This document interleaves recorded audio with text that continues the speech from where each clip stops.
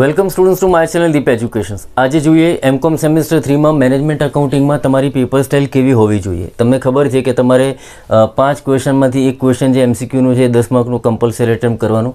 અને આ જે ચાર ક્વેશ્ચન છે એમાંથી કોઈ પણ બે ક્વેશ્ચન તમારે એટેમ્પ કરવાના. એમ તમારું પચાસ માર્કનું પેપર બે કલાકમાં તમારે આ પેપરને અપિયર કરવાનું છે રાઈટ હવે મેનેજમેન્ટ અકાઉન્ટિંગમાં યુનિટ વાઇઝ કઈ કઈ અલગ અલગ પોસિબિલિટી બની શકે તો એનો આપણે અંદાજ લગાવીએ. કે ભાઈ ક્વેશ્ચન વન છે તો ક્વેશ્ચન વન છે એ યુનિટ વન છે તો એમાં બે ચેપ્ટર છે. એક તમારું મેનેજમેન્ટ અકાઉન્ટિંગ ઓવરવ્યૂ છે અને બીજો છે તે opportunity cost concept of variance તો આમાં એવું બને કે એક દસ માર્કનું ક્વેશ્ચન ઓપોર્ચ્યુનિટી કોસ્ટનું મૂકી દે અને દસ માર્કની તમારી થિયરી મૂકી દે. આ એક પોસિબિલિટી બને પાછા ઓપોર્ચ્યુનિટી કોસ્ટમાં કયો ક્વેશ્ચન આવે? કે પેલા મટીરિયલ રિલેટેડ છે અથવા તમારા કન્ટ્રીબ્યુશન રિલેટેડ છે અથવા કોઈ કોસ્ટના રિલેટેડ છે એવું ક્વેશ્ચન હોય. મેનેજમેન્ટ અકાઉન્ટિંગમાં પેલો ડિફરન્સ છે અથવા બીજા કોઈ એડવાન્ટેજીસ લિમિટેશન્સ મેથડ્સ છે. તેવી કોઈ થિયરી એમાં મૂકી દે. એમ વીસ માર્ક તમારું થાય. યુનિટ નંબર ટુ છે, એ તમારું બજેટરી કંટ્રોલ છે. હવે એમાં એવું બને કે બજેટનું ટ્વેન્ટી માર્કનું ક્વેશ્ચન મૂકી દે. કાં તો એવું બને કે બજેટની થિયરી મૂકે દસ માર્કની અને બજેટનું દસ માર્કનું ક્વેશ્ચન મૂકી દે. મૂકી શકે. એક બીજી પોસિબિલિટી થઈ. અને ત્રીજું, આ છે રિકન્સિલેશન સ્ટેટમેન્ટ હવે આમાં દસ માર્કમાં ક્વેશ્ચન પૂછવાના ચાન્સીસ ઓછા. તો વીસ માર્કનું તમારું રિકન્સિલેશન સ્ટેટમેન્ટનો ક્વેશ્ચન પૂછી શકે. પેલી થિયરી પણ કદાચ હોય. Dual plan plan partial plan single plan પણ પ્રેક્ટિકલ પૂછાશે, એના ચાન્સીસ વધારે. અને યુનિટ નંબર ફોર છે, એમાં પણ એવું બને કે ટ્વેન્ટી માર્કનું એક ક્વેશ્ચન પૂછી લે.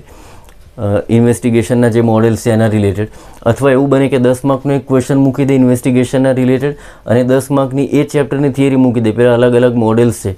તો એ થિયરી પૂછી શકે, પછી એના પેલા હર્ડલ્સ જેને કહેવાય ને લિમિટેશન્સ ઇમ્પ્લિમેન્ટેશનના તો એની કોઈ થિયરી મૂકી દે. અને એની સાથે દસ માર્કનું ક્વેશ્ચન હોય અથવા ટ્વેન્ટી માર્કનું ઇન્વેસ્ટિગેશનનું કોઈ ક્વેશ્ચન હોય, તો આવા અલગ અલગ કોમ્બિનેશન બની શકે. તો એના માટે મેં મારા પોતાના એક માસ્ટર પેપર્સ તૈયાર કર્યા છે ત્રણ, કે એમાં અલગ અલગ સિચ્યુએશનથી આને એનાલાઇઝ કર્યા છે કે જો આવું પણ પેપર હોઈ શકે આઈધર આવું પણ હોઈ શકે, આ ક્વેશ્ચન આ રીતે પણ પૂછાય આમાં થિયરી હોય અથવા આમાં પ્રેક્ટિકલ હોય, તો તમારી પાસે જ્યારે એક્ઝામ આપવા જાઓ ત્યારે તમારી પાસે એક ફંડામેન્ટલી ક્લિયર વિઝન હોય.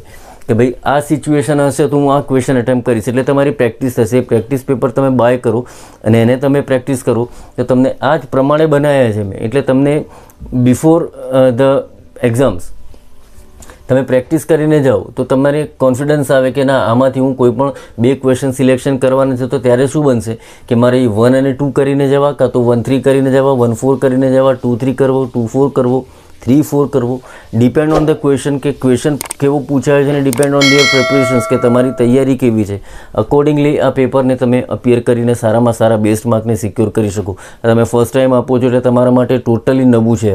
એટલે એના માટે જ મેં ત્રણ પેપરની ડિઝાઇન કર્યા અલગ અલગ એંગલથી કે આવું પણ પેપર હોઈ શકે, કાં તો આવું પણ હોઈ શકે, કાં તો આવું પણ હોઈ શકે. એટલે તમે ત્રણેય તરફથી સિક્યોર થઈ અને પછી ફાઇનલી આ પેપર આપવા જાઓ તો યુ વિલ રિલેક્સ્ડ કે ના ભાઈ, મને આવડશે. મારા સારા માર્ક આવશે.